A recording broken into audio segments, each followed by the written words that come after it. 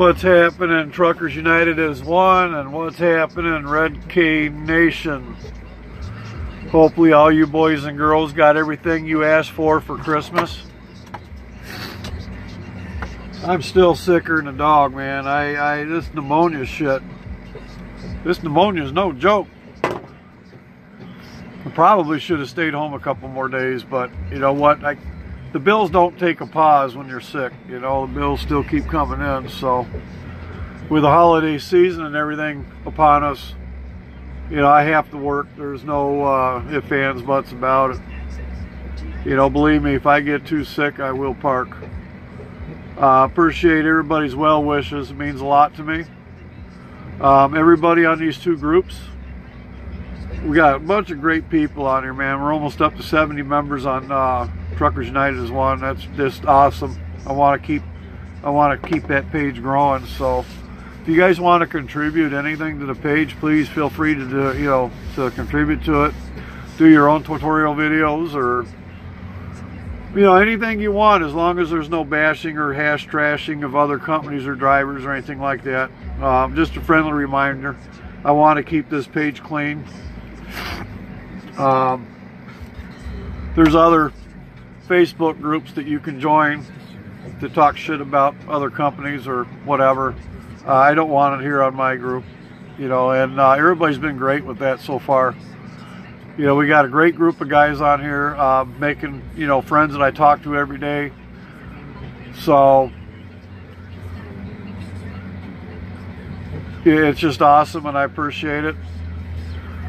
Um, Christmas is over with, thank God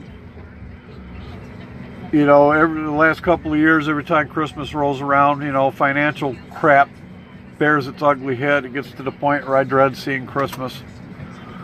But I'm glad it's over with. Now we just need to get through the new year and uh, start 2018 on a, on a good foot.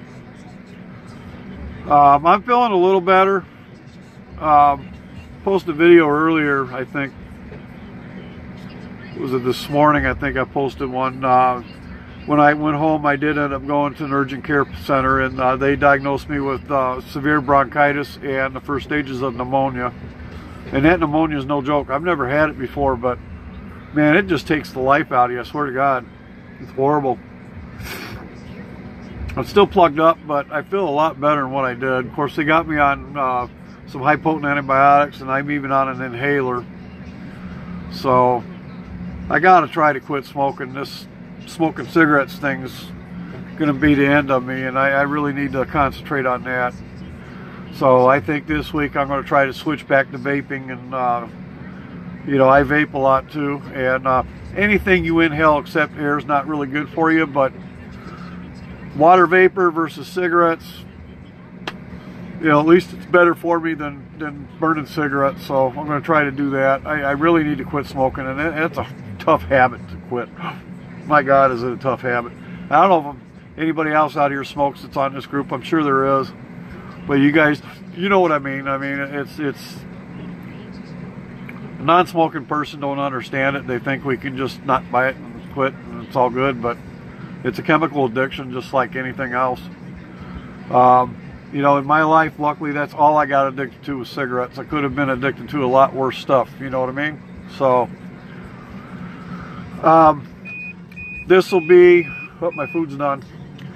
This will be your Wednesday video. Um, I just actually had a question out there. Um, if you have smoked in the past and you're a non-smoker now, what did you do to quit smoking? What what uh, uh, things did you do that you could pass on to somebody like me that wants to quit smoking but is finding a real hard time doing it? Um, like some input on that.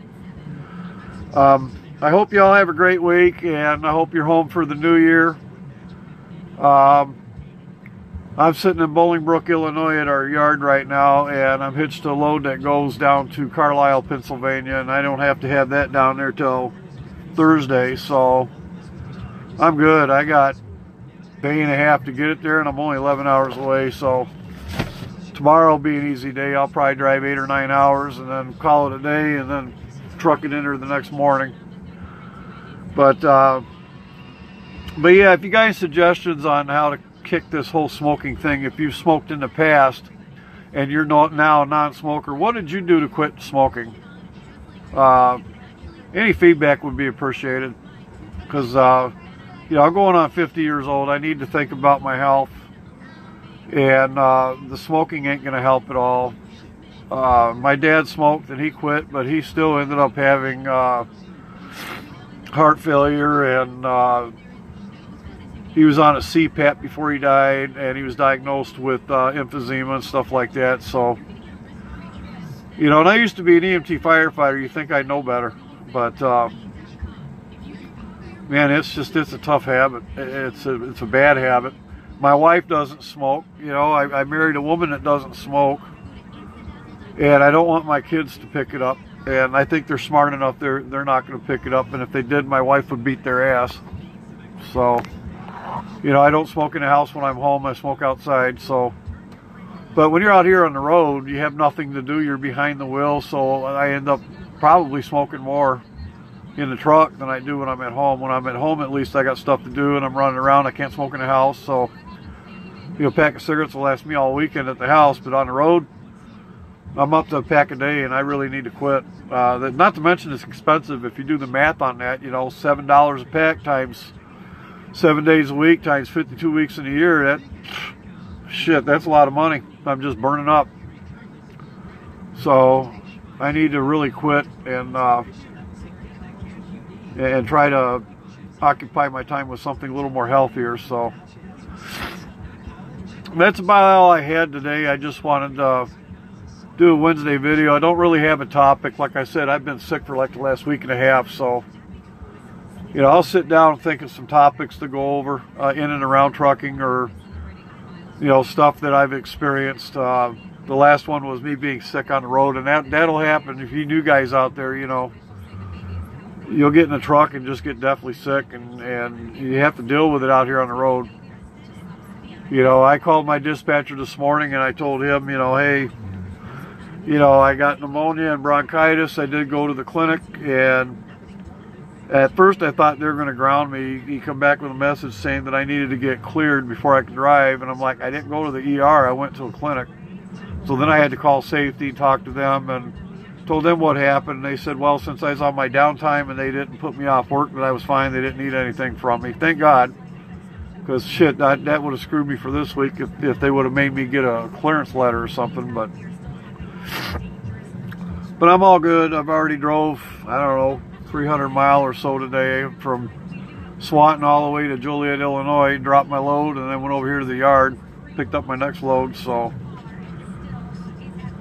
not too bad of the day. It's fucking cold up here. The wind chill factor is 14 below zero here in the Chicago area, so it's gonna be cold. I'm looking at the news right now. They're saying it's four above four four degrees above zero, but with the wind uh, wind chill factor is minus 14. So if you're trucking in this part of the country, man, make sure you wear a, winter hat, which I got mine here somewhere, and gloves. You know, if you're out in this shit for more than a half hour, you can get um, frostbite. So I got my heavy boots on and I got my pullover and my heavy leather coat and I got a beanie hat that I wear to cover my ears when I'm out dropping a trailer or whatever. But yeah, keep yourself warm. Make sure you bring extra blankets and stuff with you too. Um, my Espar heater works pretty good, but when it gets this fucking cold, it still gets cold in this truck. So I got like three blankets in here I cover up with because I do not like to be cold. So with that, that's about all I had for today. I hope you guys uh, have a great week and get them miles. And if you're home for New Year's, you know, have a shot for me, will you? This is Trucker Dave, and I'll catch you later.